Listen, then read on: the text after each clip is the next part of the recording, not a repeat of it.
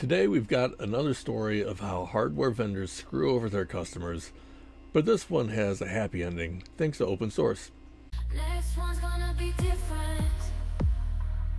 I can feel it in the air. Hey guys, it's Josh from the WL Tech Blog. In this video, we're going to talk about a brand called Neos who sold moderately priced IP cameras in Europe.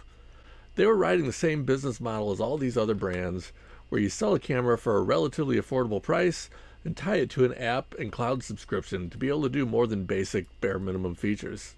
But somehow, while dozens, maybe hundreds of other brands are doing this successfully, Neos found a way to screw it up, and now their customers are paying the price. One of the concepts I talk about a lot on this channel is ownership. I'm not going to get into the same depth as Richard Stallman today, but suffice to say that every computing device that you have is controlled by someone, and unless you go out of your way, that someone isn't you. That goes for your PC, your laptop, tablet, phone, gadgets of all types, and of course your cheap IP cameras.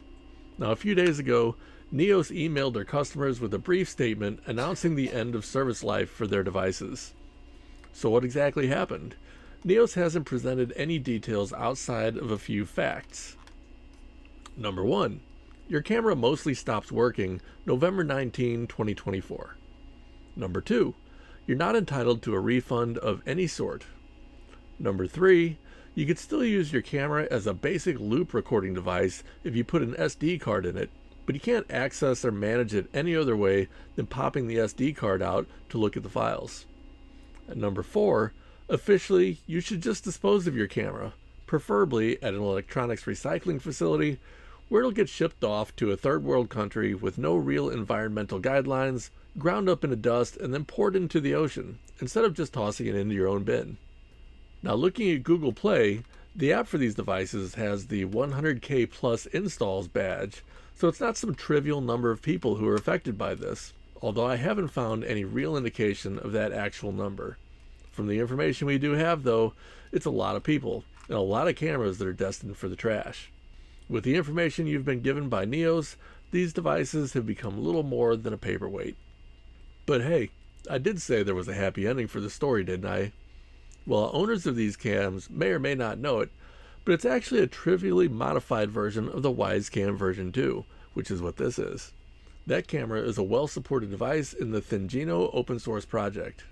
I made a standalone video introducing Thingino, but in a nutshell, Thingino is an open source firmware replacement for many popular IP cameras that gives you local control and ownership of your data.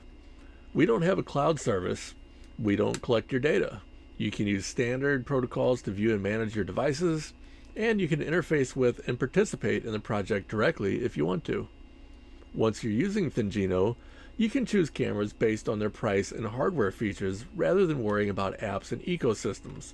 Much like cordless power tool vendors, after you buy your first one with a battery and a charger, you're not really going to buy from a second brand without a really good reason.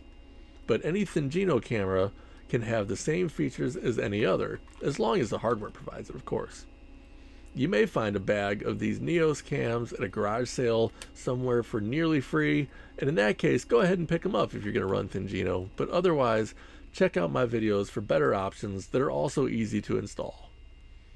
If you're one of the unlucky folks who do have these cameras, I invite you to try my No Tools Required installer to take back ownership of your camera. Just follow the link to the Wyze V2 camera video and make sure to read the README in the download location as any updates to the process will be posted there. And of course, if you run into any trouble or you're interested in gadget hacking, cameras, open source, and other fun tech stuff, come see us on the Hackers Homestead Discord channel.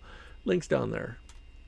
I'm working on several more videos on this and other topics, and I hope you'll give me a thumbs up and consider subscribing if you enjoy this content. Until the next video, stay fresh, cheese bags.